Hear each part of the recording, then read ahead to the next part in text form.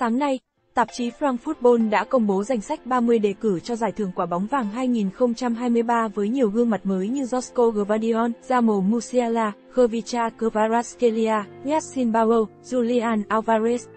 Tuy nhiên, đáng chú ý nhất là trường hợp của Cristiano Ronaldo, ngôi sao 38 tuổi người Bồ Đào Nha. Mặc dù vẫn ghi bàn đều đặn ở giải vô địch quốc gia Saudi Arabia, nhưng Ronaldo không đủ thuyết phục ban kỹ thuật của Frankfurt Football lựa chọn. Điều này đánh dấu lần đầu tiên sau 20 năm, Ronaldo không được tranh giải quả bóng vàng. Trong 19 năm được đề cử trước đó, cầu tiền đạo của MU đã giành chiến thắng 5 lần, và hiện anh đang là người giành quả bóng vàng nhiều thứ hai lịch sử, chỉ sau Lionel Messi.